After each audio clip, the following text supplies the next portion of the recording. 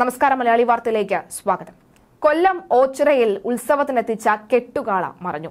എഴുപത്തിരണ്ടടി ഉയരമുള്ള കാലഭൈരവൻ എന്ന കെട്ടുകാളയാണ് മറഞ്ഞത്. അപകടത്തിൽ ആളപായം ഒഴിവായത് ഭാഗ്യം കൊണ്ടാണ്. അതേസമയം സംഭവത്തിൽ രണ്ടുപേർക്ക് പരിക്കേറ്റു. പരിക്കേറ്റവരെ കായംകുളം താലൂക്ക് ആശുപത്രിയിൽ പ്രവേശിപ്പിച്ചിട്ടുണ്ട്. വലുപ്പത്തിന്റെ അടിസ്ഥാനത്തിൽ ക്ഷേത്ര ഭരണ സമിതി കെട്ടുകാളകൾക്ക് ക്രമനമ്പറുകൾ നൽകിയിട്ടുണ്ട്. മറഞ്ഞ കെട്ടുകാള കാലഭൈരവന്റെ ശിരസിന് മാത്രം പതിനേഴ് ദശാംശം ഏഴ് അഞ്ച് അടി പൊക്കമാണുള്ളത്. ഇരു- ഇരുപത് ടൺ ഇരുമ്പ് ഇരുപത്തിയാറ് ടൺ വൈക്കോൽ എന്നിവ കൊണ്ട് നിർമ്മിച്ച കാലഭൈരവന്റെ നെറ്റിപ്പട്ടത്തിന് മുപ്പത്തിരണ്ട് അടി നീളമാണുള്ളത്. ഇരുപത്തിയെട്ടാം ഓണ മഹോത്സവത്തിന്റെ ഭാഗമായുള്ള ഉത്സവമാണ് ഓച്ചിറ ക്ഷേത്രത്തിൽ പരബ്രഹ്മ ക്ഷേത്രത്തിലെ കെട്ടുത്സവത്തിന് പടനിലത്തെത്തുന്ന കെട്ടുകളകളിൽ ഏറ്റവും വലിയവനെന്ന ഖ്യാതിയാണ് കാലഭൈരവന് സ്വന്തമായുള്ളത്. ഏറ്റവും വലിയ കെട്ടുകാളയ്ക്കുള്ള യൂണിവേഴ്സൽ റെക്കോർഡ് ഫോറത്തിന്റെ രണ്ടായിരത്തി ഇരുപത്തി മൂന്നിലെ അവാർഡ് കാലഭൈരവനാണ് ലഭിച്ചത്.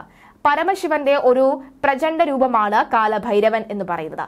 വിനാശകാരിയായ അല്ലെങ്കിൽ വിനാശത്തെ നിയന്ത്രിക്കുന്ന ശിവരൂപമാണ് കാലഭൈരവൻ എന്നാണ് വിശ്വാസം.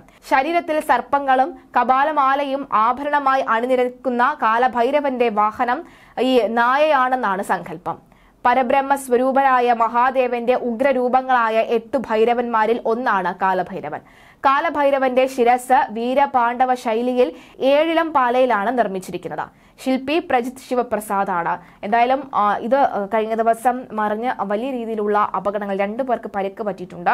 വലിയ രീതിയിലുള്ള ഗതാഗത കുരുക്കടക്കമുള്ളവ ഉണ്ടായിരുന്നു കഴിഞ്ഞ ദിവസം. എന്തായാലും ഓച്ചിറ കാളയൂട്ട് മഹോത്സവം അല്ലെങ്കിൽ ഓച്ചിറ കെട്ടുകാള മഹോത്സവം ഒക്കെ തന്നെ വലിയ രീതിയിൽ പ്രശസ്തി ആർജിച്ച ഒന്ന് തന്നെയാണ്. എഴുപത്തിരണ്ടടി ഉയരമുള്ള കാലഭൈരവൻ എന്ന കെട്ടുകാളയാണ് കഴിഞ്ഞ ദിവസം മറിഞ്ഞത്. അപകടത്തിൽ ആള ആളഭയം ഒഴിവായത് ഭാഗ്യം കൊണ്ടാണെന്ന റിപ്പോർട്ടുകൾ തന്നെയാണ് പുറത്തു വന്നുകൊണ്ടേയിരിക്കുന്നത്.